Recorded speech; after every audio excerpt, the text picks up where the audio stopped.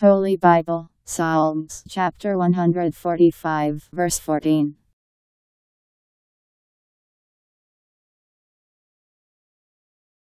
The Lord is the support of all who are crushed, and the lifter up of all who are bent down.